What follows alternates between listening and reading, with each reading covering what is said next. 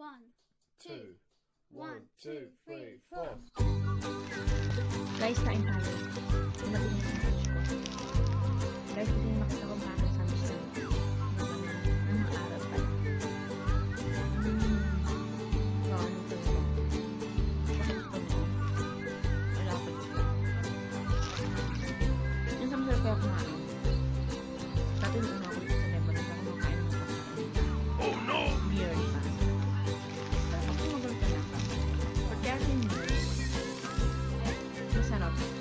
Especially pag dito ba. Kaya,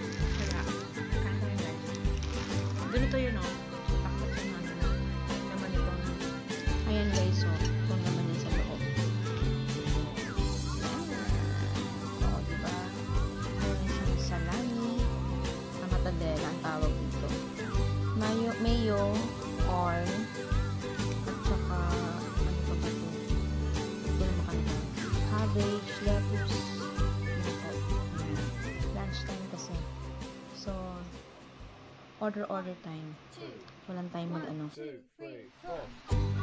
Ah, meron pa pa siyang tomato. Tsaka pickles. Hindi na napakita. Nagugutom na. Mmm. Sarap sa toasted yung bread. Ganito kasi yung mga bread dito.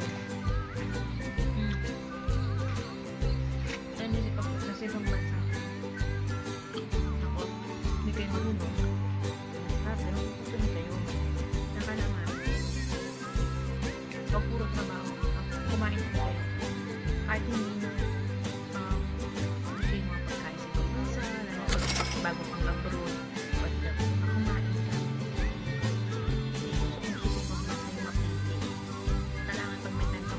ng paraan. Kasi mga bandang minsan, puro kayo patatrabaho ng patatrabaho.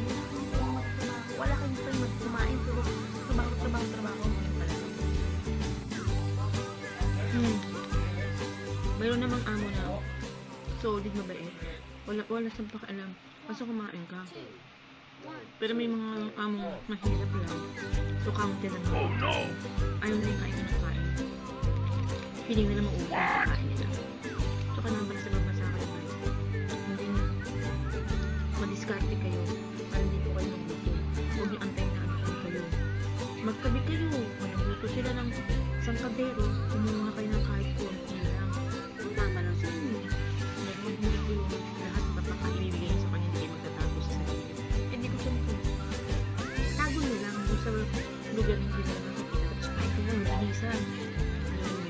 Kaya hindi pa pwede yung hindi ko ma-discover sa bansa. Kasi dumating ka rin sa ibang bansa. Alam ka rin mag-isa. At susulorin mo problema mo mag-isa. Magigutom ka mag-isa pag di ka mag-discover.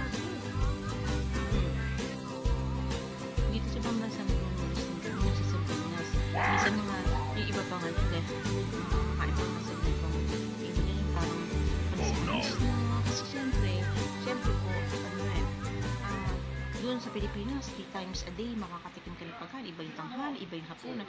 Dito, kung ano po yung kahapon, minsan kakainin nyo, kakainin namin. Minsan po, ano, maabot, kailangan po maximum 3 days lang nga kasi baka mamaya masira naman ang ang tiyan.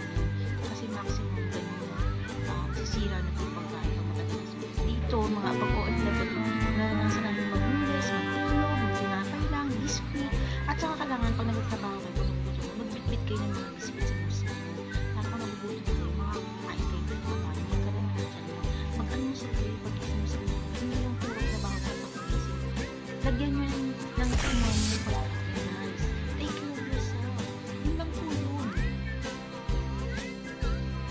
wala sila, magluto ka. Hmm, Para sa'yo, o gusto ko ba hindi? Kasi, minsan, sila, utos lang ng utos na wala silang pakialam kung itong kakunti. Kaya kailangan, na kanino maging madiskarte ka. Yun yun. Tapos pag nasa ibang bansa ka, hindi mo kailangan ng ang paang utak mo, dibdib mo, lakas ang loob. Yung, ay, nahiya ako. Eh, gutom ka eh paano yan? O di mamamatay ka, magreklamo ka kasi ganun talaga sa ibang bansa, guys. Kaya kailangan na discount. Kasi kung hindi mo kayo kawawa talaga kayo, papayat ka, ipimpusin ka, mamimitin ka, tapos papangit ka. Tapos magaan ang, ang, ang timbang mo. Kaya dapat, bukod sa bababa ang timbang mo, dapat madiskarte ka sa mga. Yun lang ang papayo.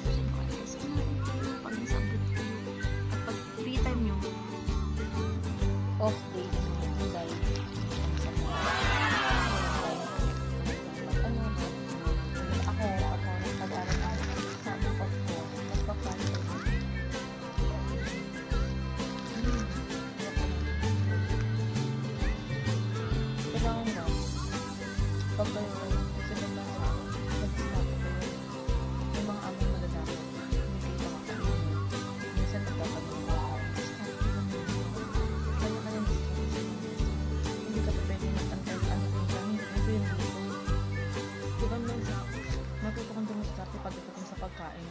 may mga amo madama at makakakain ka pa rin pag mag-discount diba? ka. Hindi pwede doon sa ibang bansang mahirap. Mayain ka pero pinilawin na kailangan mo kumuha ng pagkain.